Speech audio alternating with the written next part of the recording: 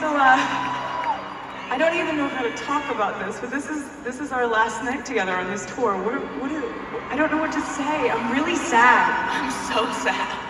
It's sad. You are my hero. What are you doing You right now? I love you so much. What are you doing? You are my hero. I love you. I love you so much. I love you. Yeah!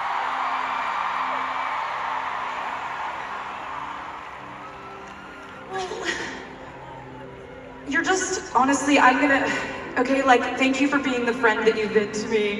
This is this is really something that we could have like written in a note to each other and just been like, thank you for being a friend that I will never ever stop confiding in and trusting. I love you with everything. Um, but yeah, this is this is the last time that we're gonna get to sing together on this tour. So I feel I just, oh man.